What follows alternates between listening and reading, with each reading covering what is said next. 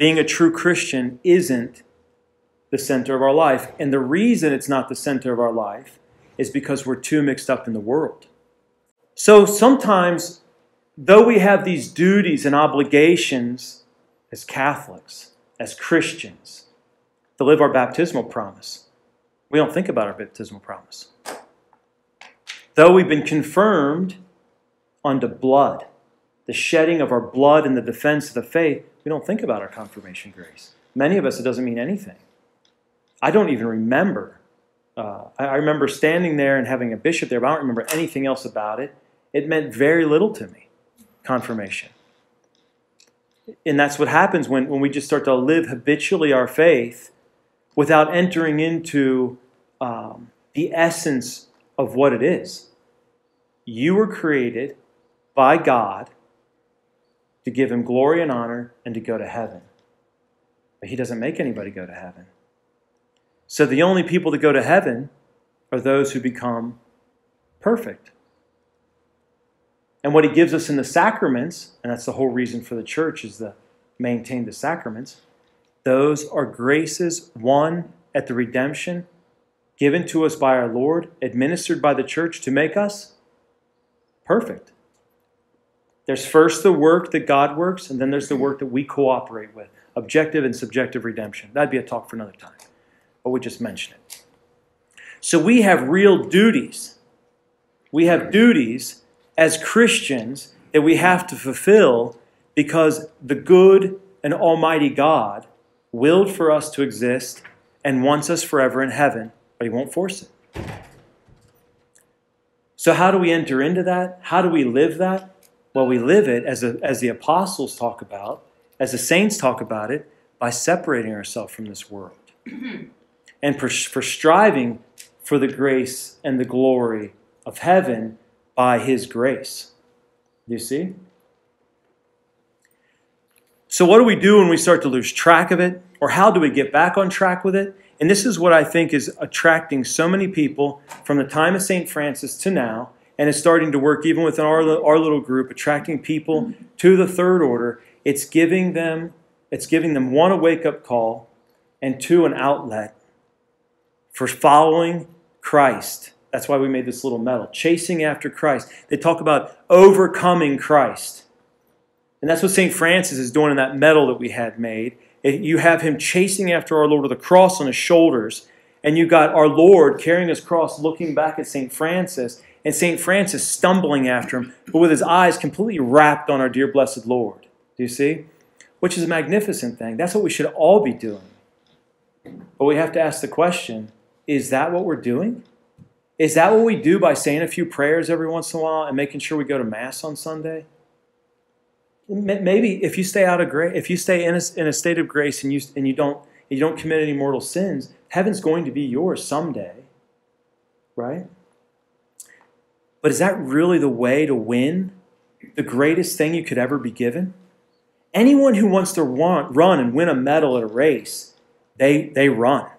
They run and they run and they run, putting absolutely everything into it until the day they have to finally run. You see? But we don't think about heaven that way. The greatest thing you could ever possibly receive, and it lasts forever, and we think we're going to stumble in the front door. You know we do. Most of us do. And the reason I know that you do, because I've lived out there too. And why do we? because of the world. We love it. We love its comforts. We love its delicacies. We love its honors. Right? We love what it's going to give back to us. Most of the time, our faith has to do with one thing us. And that might not make a lot of sense to you. And if it doesn't make sense to you, it's something to think about and pray about and meditate on. What does he mean? Our faith has to do with us. And that's the thing I've been talking to the third order about for a while is coming to understand that if we don't have that kind of faith where we're at the center of our life is God and we serve him. We love him and we are loved by him.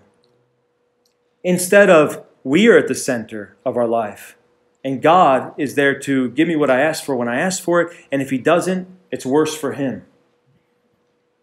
Because really, He has to be at the center. And if He is, everything makes sense once He's at the center. But when I'm at the center, there's nothing but pain and sorrow because I can't really obtain anything for myself. So that's why I beg God when I know I need something. I finally talk to God about it, and He doesn't give it to me. Do you see? Then I get upset about it because I didn't get what I wanted. God doesn't hear my prayers. And you say all these negative things about God. Do you see? But it just doesn't, it doesn't work that way because God's all providence and only created us for there's a I was just reading it the other day. I wish I had a good memory because there's all of these when you go through the Psalms and Proverbs, you get you get all of these different quotes that talk about how God will take care of even the birds and the little animals of the forest, how he thinks of them and provides for them. And yet they don't get to go to heaven. I know that's going to offend somebody because you know, you know, but anyways. So what I want to do in this talk is kind of bring as as always, I'm trying to kind of always focus on the same thing, but it, it's to try to bring our attention back, our focus, to put things in right order, right?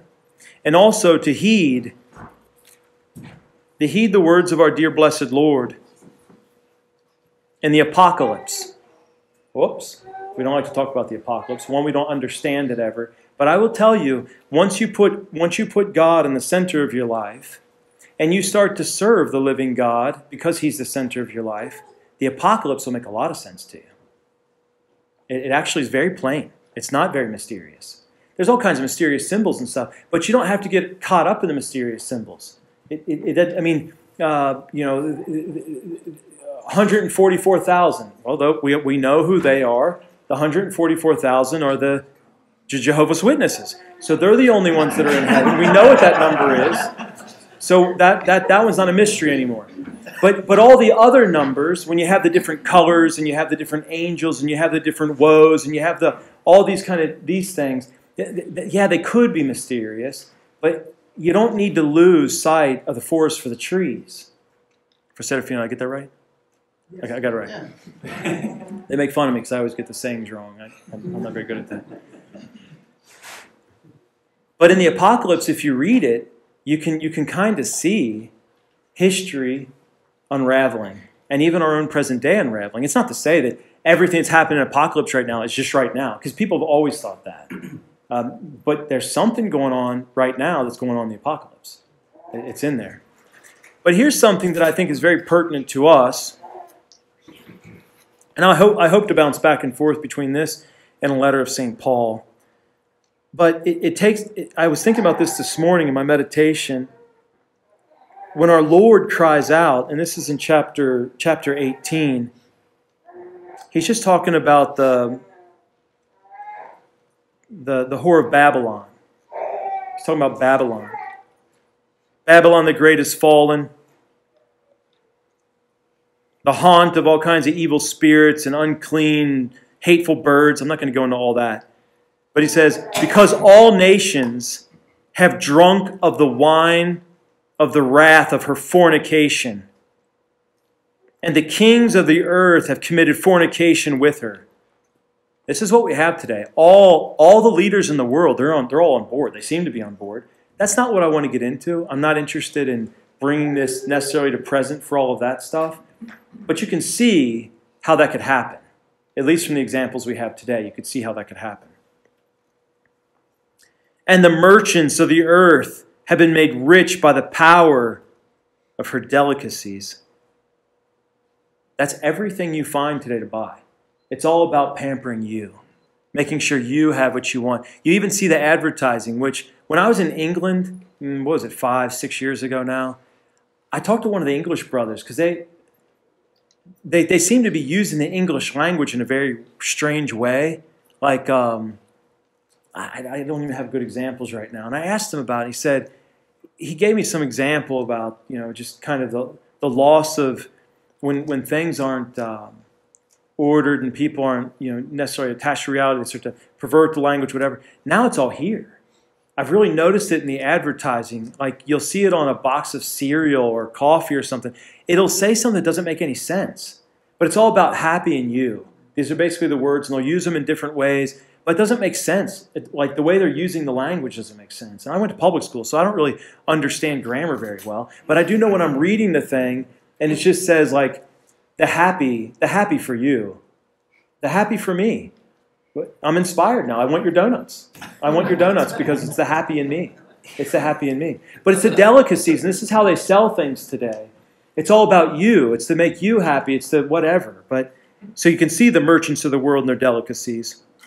And I heard another voice from the heavens saying, Go out of her, my people, that you be not partakers of her sins and that you receive not her plagues. What plagues? COVID? No, we're not talking about real plagues here. We're, we're talking about the effect that when we allow ourselves to be immersed in the world, the effect it's going to have on us. It makes us worldlings. It makes us think of the world. It makes us think of the earth. It makes us start to revel in the sins. Then you start to know people who revel in the sins. And now you have to justify because those are your friends. How am I supposed to say these people are going to burn in hell? Well, first of all, we don't say anybody's going to burn in hell. That's up to God to decide. I don't know who's going to burn in hell. I just know people will because our dear Lord talked about it. Somebody's going to be burning in hell. But it's not for me to say you're going to burn in hell or you're going to. We don't. I have no idea. That's that's a that's a judgment on God. He reads souls, and I don't. But we can often see, uh, St. Paul even talks about the um, a little leaven leavens the whole lump. What he's talking about is being around people that you shouldn't really be around, people of bad a reputation, or people, you know, especially Christians that aren't living properly, because you start to see these are good people on the natural level, and then you start to fall into what they fall into, because how could God, how could God punish them so severely? I know they're not doing what's right, but they're good people. Because we see the natural. We live in the natural world. We're called to be supernatural, and that's what's happened in your baptism. It's not just this simple thing that happens. You go from being a natural creature to a supernatural creature. You were once in sin, that is, a son of wrath. Those are the words of St. Paul. That's what we were because you were in sin. It's original sin, but it's still enough sin to keep you out of heaven. If it, if it weren't true, why'd Christ have to die on the cross? He did it to alleviate original sin, not just the fornications and all the other filth that they talk about. Original sin blocked men from heaven, as it does today. That's why it's worth dying for. To teach baptism it's the first thing. Christ died so that we could be baptized. He, that's where the efficacious grace comes from in all the sacraments from his death. But I want to go and look at St. Paul. We'll probably come back to this. But this is a powerful thing because this person speaking is our Lord in the apocalypse. He's, he's crying out. You can hear him. He, he's not just there simply waiting for everybody to get to heaven so he can give them a big hug. That, that, that's not reality. Come out of them, my people. Don't take, don't take part in her sin and be a part of her plagues. St. Paul says, when he talks about people receiving, this is in 1, 1 Corinthians chapter 11, I believe, when he talks about unworthy reception of Holy Eucharist. And he said, and this is why many of you are sick, and some have died. Unworthy reception of Holy Eucharist. That's not Friar Anthony. That's St. Paul said that. How dare he say that people who sin might actually die from it? Do you see? So now we can understand. I'm not saying this is the official interpretation of the church. I'm just giving you an interpretation here. And that you receive not of her plagues. What plagues would the world give us? It isn't so much a problem that my body gets sick and dies. It's that my soul perishes in hell for the eternal death. It would be better just to be absolutely brutally murdered by heretics or heathens for the love of the faith. Because to lose your life, you gain it. The Lord said that. So let's go to St. Paul. I just want to read down through his letter. There's two chapters here. I don't know if I should read them both or not. But at the beginning of, so it's letter to the Ephesians. And Uh, I'll bounce around in chapter 4, but I really want to get to chapter 5. And I just want to give a little commentary as I go down through it. But with that in mind of the apocalypse and what our dear Lord said, begging us to come out of Babylon, Babylon the Great.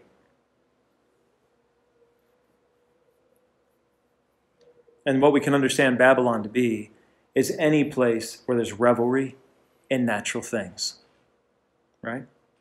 And most of you already live that way. You live in Babylon. Most of us in we, we, we cooperate that much with the world, we don't see the difference anymore. And that's why I want to bring this up. Because if we're going to enter into the third order, you really do have to take that greater step. And really, it's for anybody who's baptized to take that greater step to holiness. Because if we were holy, the world would not be in the state that it's in right now.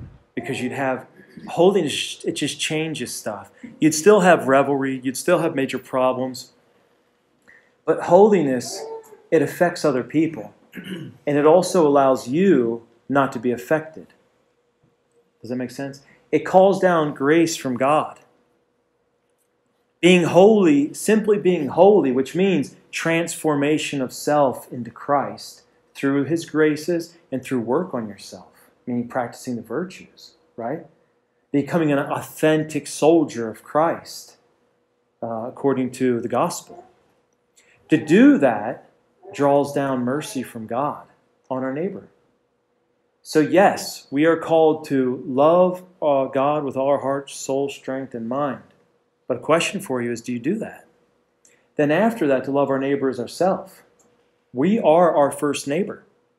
You are your first neighbor because you have to be good to yourself. If you're impatient calling yourself names, you are not you're not being charitable to your neighbor because you're your first neighbor. We think it's okay to beat ourselves up and call ourselves names when nobody's around and just degrade ourselves and whatever. We won't let anybody else do it, but we'll do it to ourselves. But you're not being charitable to your neighbor. You're actually, you're, you're actually sinning against charity against your neighbor. And then to love our neighbor as ourself. That means uh, the one closest to us, anyone. So St. Paul says this I, therefore, a prisoner in the Lord, beseech you. And you could take, I mean, you know, prisoner in the Lord. We religious, we're prisoners in the Lord. So you can take it as understanding we're prisoners in the Lord because we give up all of our freedom. And we do it for the love of God. St. Anthony said, freedom is slavery. And slavery is freedom. So religious are free, though they give up their freedom. I, therefore, prisoner of the Lord, beseech you that you walk worthy of the vocation in which you are called. In which you are called. That's by your baptismal promises.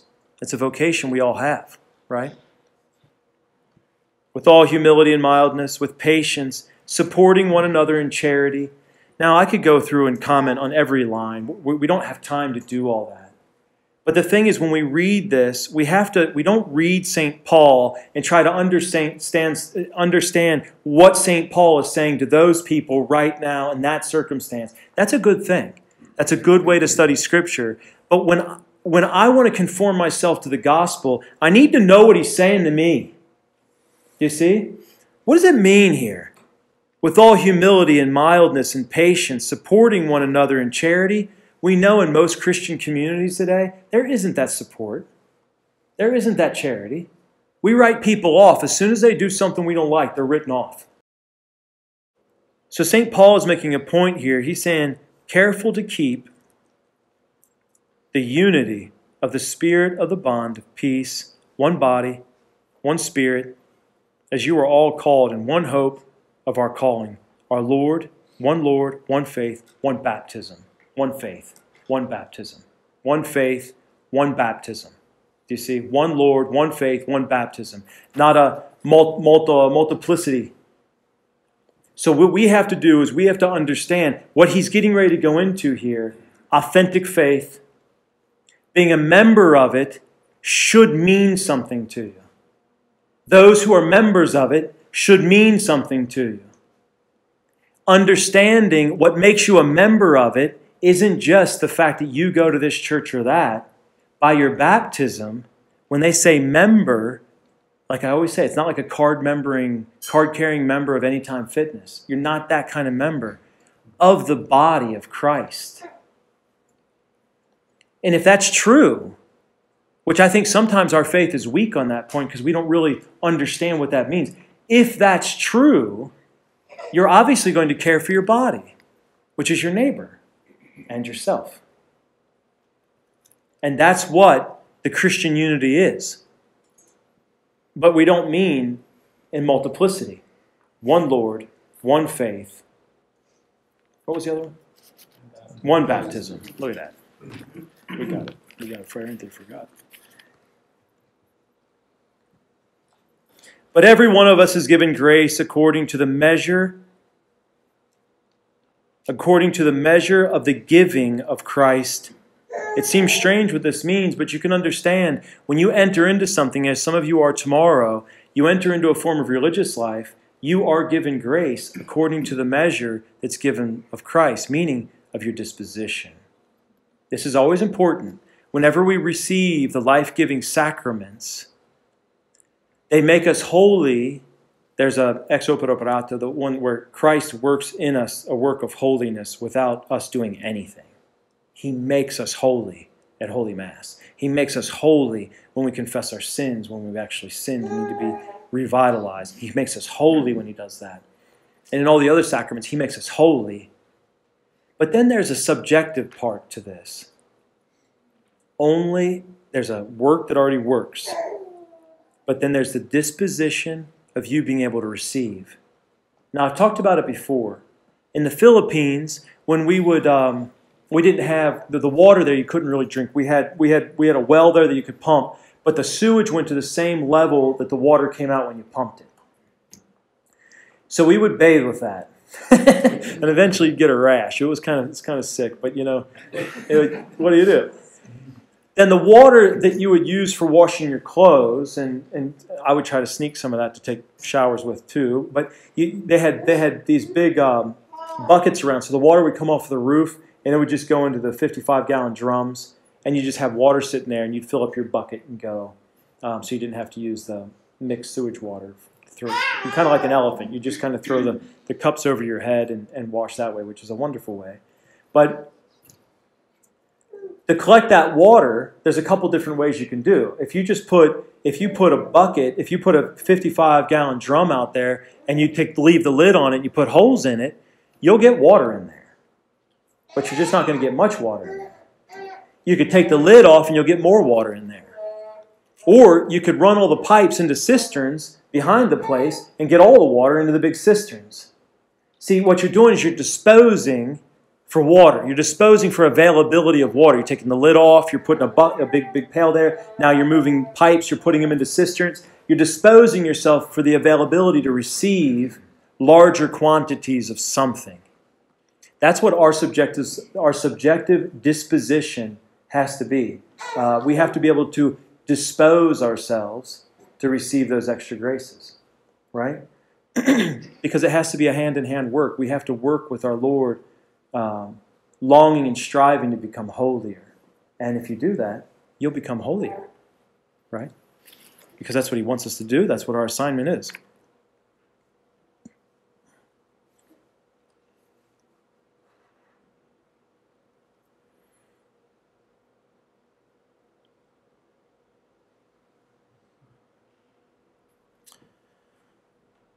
That henceforth I'm going to skip down a little bit. That henceforth we be no more children, tossed to and fro, carried about with every wind of doctrine, by the wickedness of men, by cunning craftiness, by which they lie in wait to deceive.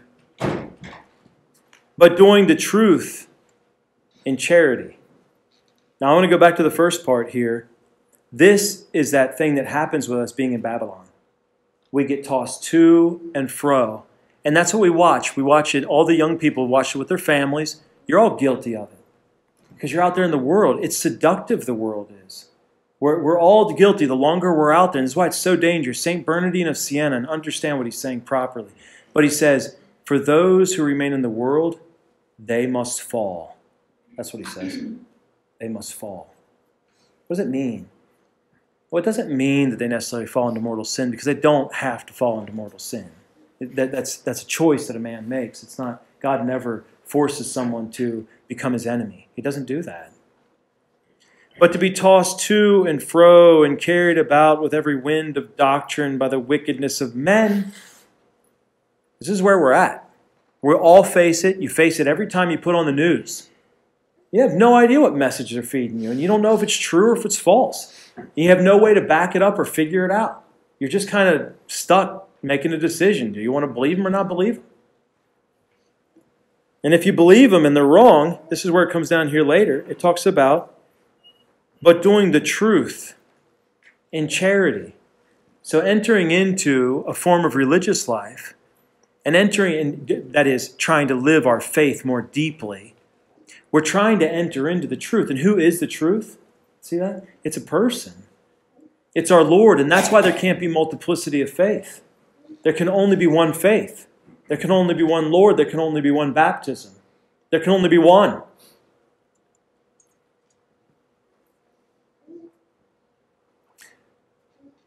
But as we do this, but doing the truth in charity, that we may in all things grow up in Him who is the head, even Christ. That's imitation. And that's exactly what the Franciscan order came about to be. St. Francis wanted to perfectly run after our Lord, perfectly imitate our Lord. Anything he did, he wanted to do it too. That was the goal of St. Francis. People saw that and they wanted to follow St. Francis until we get to the Pope saying, imitate St. Francis. You see? Taking the words of St. Paul and now applying them to St. Francis. Magnificent. But our goal here is to grow up in all things in Him who is the head, even Christ. This is the goal.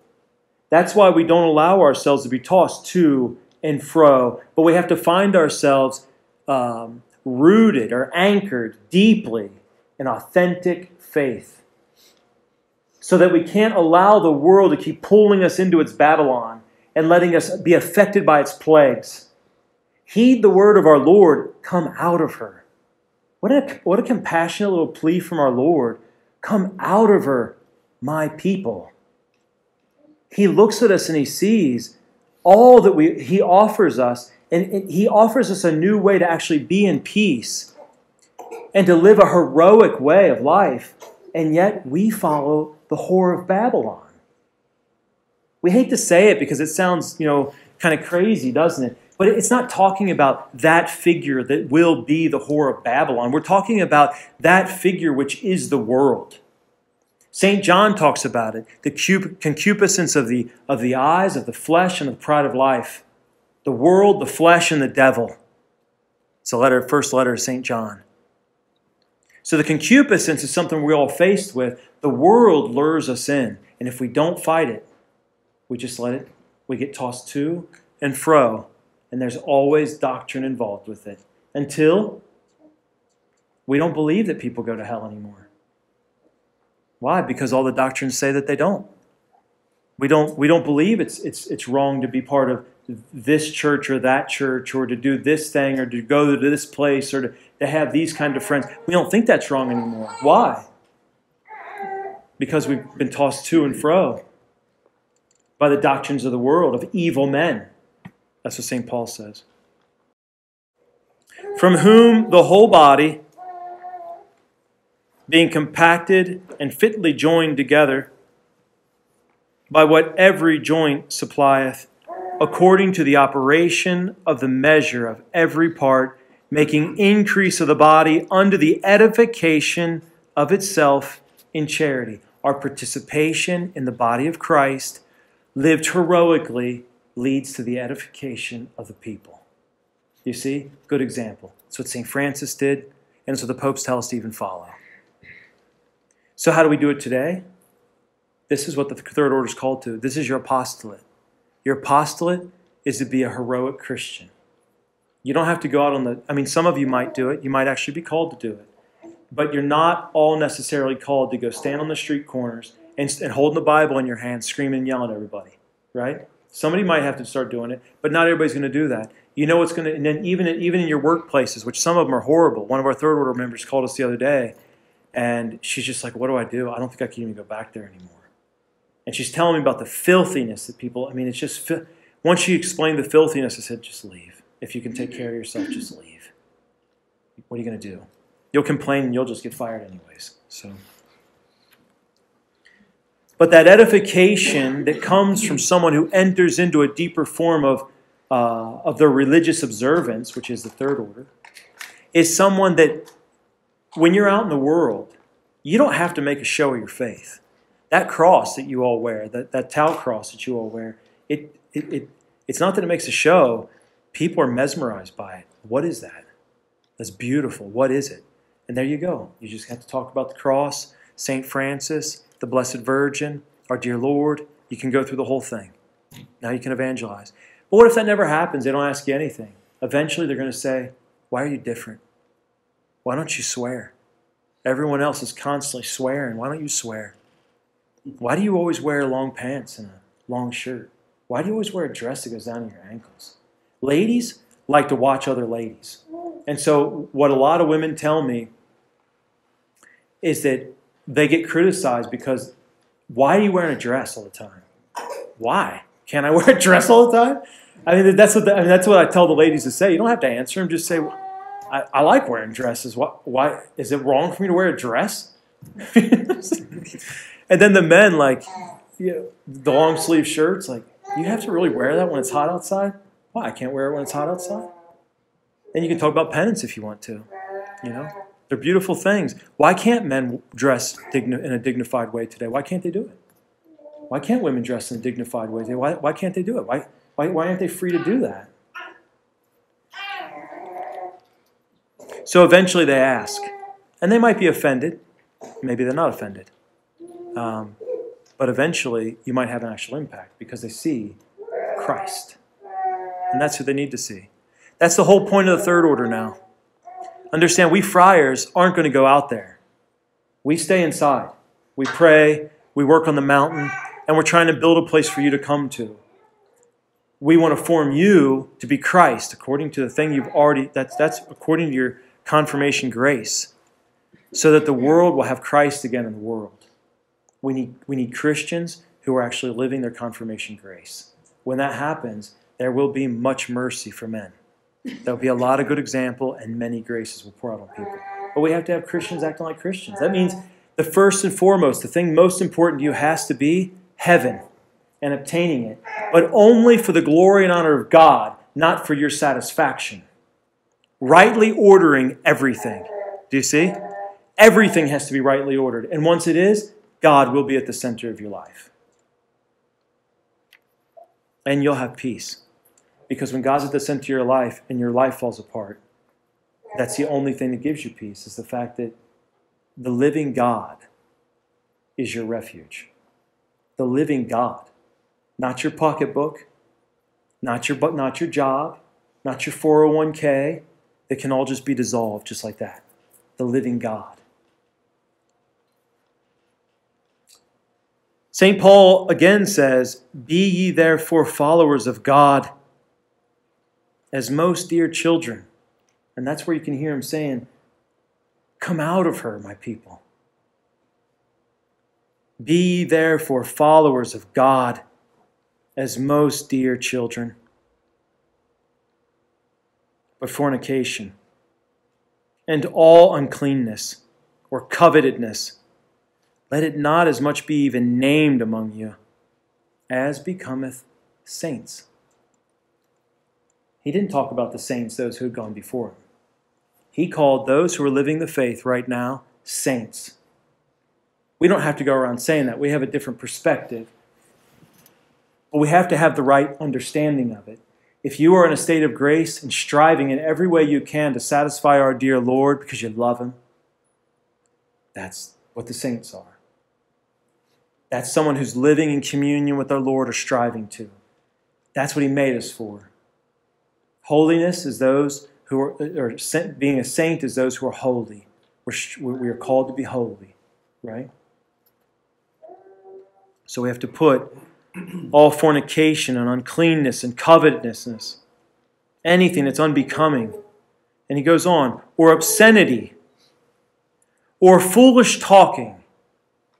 See how we have to be reserved, even in talking? Yep, even you all out there in the world, you have to be reserved in your speech, not being frivolous in your speech, not talking about stupid stuff, but being serious. Someday you will be, hopefully, before the living God. And your mouth was made for that moment, not this moment. Your mouth is made to praise Him for eternity, not to talk about weird stuff here today.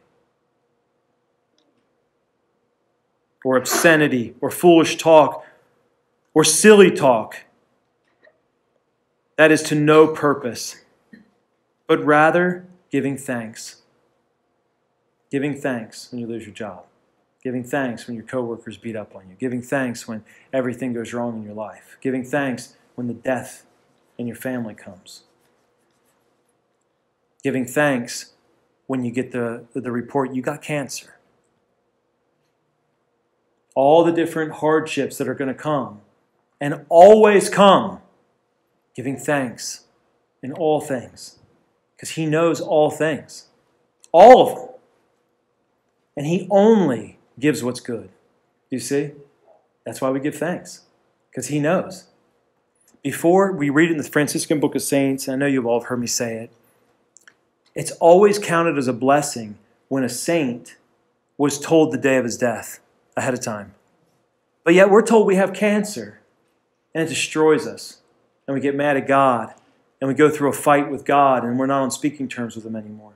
You just got told you just got told you got time. You, you, you're going out, and you you know when you're going to go out. You, you got like six months left, and you, you've just been given this grace to prepare. To, to do beautiful, heroic things that you've lacked and neglected to do up until now. Now you can do it because you know, six months I'm dead. I'm going to do everything for him now. I'm just going to do it now. And I'll make reparation for not doing it before, but I'm just going to go out in a bang doing good. And I don't mean just going out like working at soup kitchens. I mean loving the living God, saying your prayers, loving your neighbor, spilling yourself out in holiness, striving to become Christ. Do you see? What a blessing to hear. You are going to die. Thanks be to God. Because you're all going to die. Do you know anybody who's never died? no, that, that's why they put statues up of people that we don't know who they are, but they put these statues up, and you got to go read. We, the, the, we, everybody dies. It's always happened, but yet we're always just so worried about it. You're gonna die. I love talking to Abbott Dane. He he just is always like, I don't know, I might just die in a car accident on the way home. I mean, I'll be it'll be a bloody death, and then they don't want to have to it. he's just so he's so flippant about death. Like, yeah, one of the brothers just died, and blah blah blah blah blah blah blah. because we're all going to die. That's what you do. We, we we have to live strongly the faith, and then die, and go to heaven and love God. You were made for that moment, not this one. This one is to get you to that one. Does that make sense? But you have to ingrain that because being in the world and of the world, we don't believe it. We refuse to believe it. It's always, the faith is always something I can do later. I can do a little bit later. No. And I'm guilty of it. You know, even as a friar, you know, we get, we're dealing with the bees and stuff, like they're swarming all the time. You're running after them, they're stinging you, and you're just thinking about, man, I'm a bad beekeeper, and the bees must hate me. And you don't think anything about God. Instead, you just try, you, you know, whatever you're doing, you should be just be serving God. There you go. It doesn't matter necessarily what you're doing if it's good and holy, but you can do it for God. You know, mowing the lawn you can do for God. But if you just mow the lawn to mow the lawn, you're just doing a worldly thing. You have to mow the lawn, do it for God. That means do it well. So the young people, that's that's why we do things well. We don't do it because mom and dad are going to see or I might get paid or I'm not going to do it well because I'm not going to get paid. You do it simply because you have an opportunity right now as a Christian to merit. Our Lady, when she buttered the bread of, the, uh, of our dear blessed Lord, because she buttered his bread out of the most abundant love, she merited, who knows, maybe it was infinite, I don't know, but she merited extraordinarily because she did it with abundant love. Now, when you're buttering bread and you're just doing it because mom told me to butter the bread or whatever I got to do, and you're mad because you got to butter the bread, you're just buttering bread. And you're probably going to have to go to confession for buttering the bread. you see? So everything has to do with love because God is love. When you enter into the essence of God through your actions, that might be a strange way to say it, but what I mean is to live who God is, just to love. You can't go wrong with it. So, though you're doing something you hate, you got to do it anyways. So, do it out of love. And there you go. You just, you just please the living God. Do? For know you this and understand that no fornicator or unclean or covetous person, which is a server of idols, we think there isn't idolatry anymore, but that's what these sins are a server of idols, hath inheritance in the kingdom of Christ and of God. We have to understand this affects many people in our world right now. No fornicator, or unclean, or covetous person. There's so many sexual problems out there. We can't just allow it to just be one of these un, uh, unfortunate things that's happening in the world. We have to give good example and pray. There isn't much we can do about it, but I'll tell you what you can do. If you become holy, God hears your prayers. And when He has holy people around, He, he might let you be persecuted too. But persecution of holy people, because St. Peter talks about it, and to suffer as a Christian, that's a good thing for us. We thank God for it. And it brings down mercy on people. And that's how they get conversion. Do you see? We can't be okay with the state of things. We have to want everything to be conformed to God and His holy will. But it doesn't mean we have to go around cutting people's heads off because they're not living properly. No, no. We have to strike them with grace, meaning we have to live a holy life so that they can receive the grace to be holy. Do you understand the difference? Getting caught up with all this criticism and the news and the, um, all the controversy, that, that necessarily isn't our way forward, but to strike them with grace. We want their conversion. It, it's not to say we don't speak out sometimes. There's things that have to be said. There's, there's, there's, there's moments that have to be fought. Um, but it doesn't mean that that's all we do. And we, we leave off the grace and the charity and the good example. Let no man deceive you with vain words. For because of these things cometh the anger of God upon the children of unbelief. Be ye not therefore partakers with them. Come out, my people. For you were, were henceforth, I'm sorry, for you were heretofore darkness, but now you're light, grace. The, the, the darkness was gone with baptism. If you fell back into it, it was gone by repentance and the holy sacrament of confession. Now you are light. If you are darkness still, the light's right there. Our Lord, as long as you're in this life, He wants to give you the light back. Confession. he will freely give it. Walk then as children of the light. That means don't sin. Don't sin anymore. You don't have to sin. You don't have to be slaves of the world. You don't have to love what it loves. You can love the living God, and you can do good. You can pray, you don't have to go out there and do all the things they do. You don't have to revel in their revelry. You don't have to sin, but to be children of light. For the fruit of the light is in all goodness and justice and truth. Remember our Lord's truth, it's in our Lord. Providing what is well pleasing to God and have no fellowship with the unfruitful works of darkness, but rather reprove them. We do have to fight against them. It's tough, but some of you that work in the workplace where you've got very strange things that happen, you know, we avoid the we, we avoid reproving them because we know we will have our head cut off for it. Sometimes we have to do it, especially when they when they when they flat out want to always say, um, I forget all the initials, all these ways they do bad words nowadays, but they put our our Lord's name in all the bad words out there in the world. I don't hear it. People are respectful enough that we don't normally hear that kind of stuff. Even when I was in Italy, I never learned a single curse word in Italian. So I'm sure I heard them at some point, but I never knew anybody was cursing. I, I, I wouldn't know a single one, right? But the things that one of our third order members was telling me on the phone the other day, I don't know how she bore it. To hear the things she had to hear at work, the way they talk about our dear Lord, and the, the filthy words they use before and after his name. Sometimes we have to reprove them. We have to reprove them, even if it means we have to shed our blood. And not just reprove them, is just letting them know it's not okay. You're talking about my dearly beloved Lord. Because if I went and started talking about their mother or somebody else, they'd smack me or get me arrested or something. They're talking about my God who saves me, who's kept me from all kinds of horrible things, who's brought me into religion and everything else, all the, all the wonderful, who, who provides. Now, you, you all understand, we friars, we don't have jobs. I haven't had insurance in like 18 or 20 years. He's always provided everything. When I walked 800 miles, I didn't have anything. I didn't know anybody. And when I really needed it, he provided me something very special, even to the point of asking for a beer. He even gave me a beer one day when I was I wanted a beer, which I thought was a weird thing to ask for from God, and he still gave me a beer.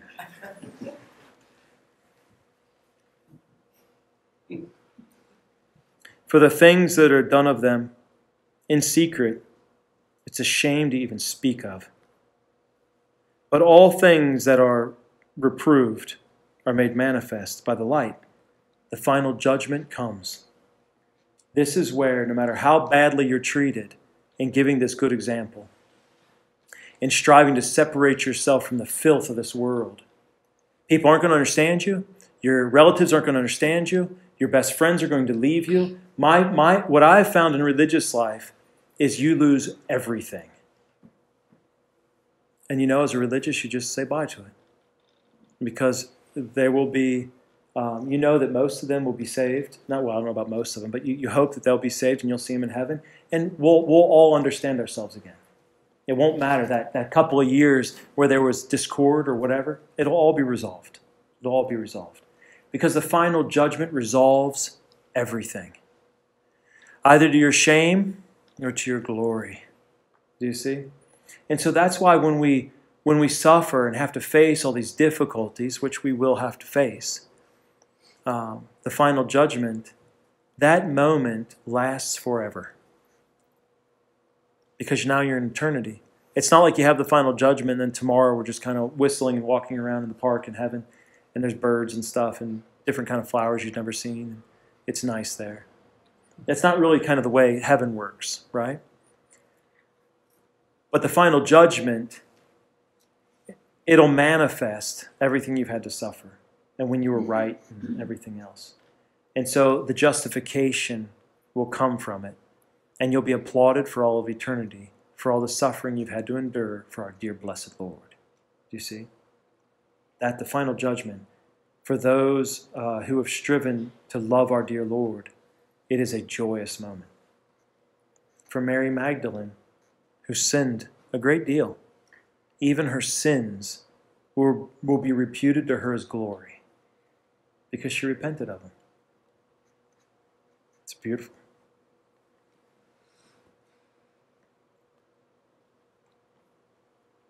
Wherefore, mm, sorry, but all things that are reproved are made manifest by the light, for all that is made manifest is light, because it's truth.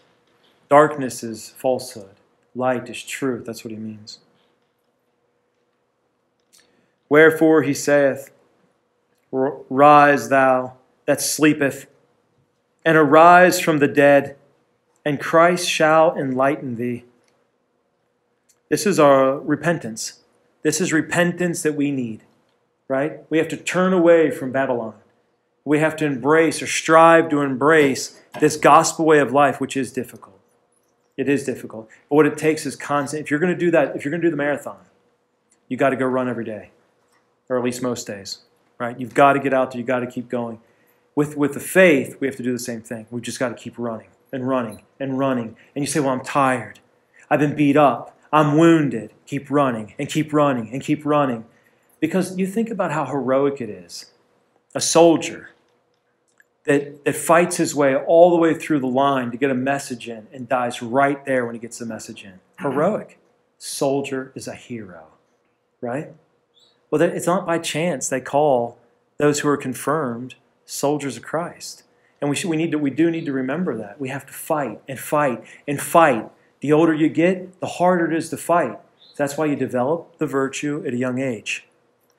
And if it's hard for you because you're just starting the fight now that you're older, just keep fighting and fighting and die in utter exhaustion in the spiritual fight, right? You will be rewarded. See, therefore, brethren, how you walk circumspectly, not as unwise, but as wise redeeming the time because the days are evil, redeeming your time, not wasting your time, frivolously wasting a little bit of time. Young people want to sleep until noon. What a waste! I never slept until noon when I was a kid. I, well, maybe I did at some point in time. But you, you, you, you got to get up. You go, you go into the forest. Well, back then we used to go into the forest and we'd ride our bikes and jump ramps that our people, our parents didn't know how big they were, and that we would probably die if we landed improperly. So you know you're looking to get out there, but first you got to clean the house. You got to get up early. You clean the house. You get on your bike, and you're gone all day long, right? You don't want to waste it, but that, that's the state of life of a child is to play. Well, St. Paul says, but when I got older, I put away childish things, right? It's not our state of life. The ones that are older, and some of the younger people, it still is, and your job's still to play responsibly according to the guidance of your parents. But ours is to put those things away, and whatever our duty is, not to be lazy in them, but to fight through them. You see? That's why that word relaxation, I don't like it. When you hear a friar saying, I just want to relax, you want to do what? we don't do that here. All right? I mean, we'll rest, but we're not going to relax. I don't know what you. Oh, man. And be not drunk with wine, wherein is luxury. Right? Luxury, effeminacy, relaxation, they're all kind of things that circle around each other. But be ye filled with the Holy Spirit. And we will leave it right there. Be ye filled with the Holy Spirit. So let's go back to our dear Lord in the Apocalypse. And I heard another voice from heaven saying, Go out from her, my people, that you may not be partakers of her sins and that you receive not of her plagues. For her sins have reached unto the heavens, and the Lord hath remembered her iniquities. Rendered to her as she hath also rendered to you. This is this might sound confusing. Rendered to her as she hath also rendered to you. And double upon her, double according let's see, and double under her, double according to her works. In the cup wherein she hath mingled, mingle ye double under her. That much more the world has come after us. That much more the world has made us drink from her, her chalice, as it were, her sacred chalice of iniquity. The more she's, she's brought us into that, we have to give the double portion. And the way you give it back holiness. Give her a double portion. Don't just make reparation for what you've done. Go far and beyond. That's what the saints do. They make reparation for everything that they do and they just keep going, keep going. And that's why when we pray to the saints, it's all the merit. God saw such beautiful works happen in them. That's their treasure. And so when I say, Saint Isidore, help me, I'm taking care of the bees, or I've got to we got to do some, we got to harvest some trees, or I got to do some farming thing, because St. Isidore is in charge of farming stuff. He was a third order Franciscan. How do I obtain a grace from St. Isidore? St. Isidore asks the living God, who loves St. Isidore, and is so thankful for all that St. Isidore did, all the merit that he did. And he says, I will grant that from your treasury. I'll grant that request. You see? Well, that's not just St. Isidore. That's what we're all called to do. And that's what it means when I said earlier that we, we, we live that heroic faith, giving good example, drawing down graces by a heroic life lived in imitation of our Lord. That's how we save our neighbor. That's the, that's the most efficacious way to save your neighbor, to strike them with grace. Do you see? So give, give, give, give them a double portion. As much as she hath glorified herself and lived in delicacies, so much torment and sorrow give ye to her. That is the repentance and a holy life. Because she hath said in her heart, I sit a queen, and I am no widow, and sorrow I shall not see. Go out of her, my people, that you may not be partakers in her sins and that you not receive her plagues. Does that make sense? So, anyways, I just wanted to give the little talk to give you some encouragement. For the formation, it's one of those things that we want, we, we want the third order to be a real, uh, an efficacious, um, uh, instrument in fighting against what we're faced with today and that's basically an apostasy. Even with Catholics, we, we're just, most Catholics don't believe in faith anymore. And they know it by the polls. And when you, when you see those low numbers of people that believe in the Eucharist, um, that's because a lot of those people that are saying they believe in the Eucharist, they just know that's the belief of, the church. so they try to answer right because they don't want to get it wrong, right? But people don't believe anymore. Um, what will get them to believe? Christ will. He's the truth. But we have to live the truth. We have to be Christ. Let's say a quick prayer, then I'll take questions if there are any questions, because sometimes I say things that don't make any sense or say them backwards.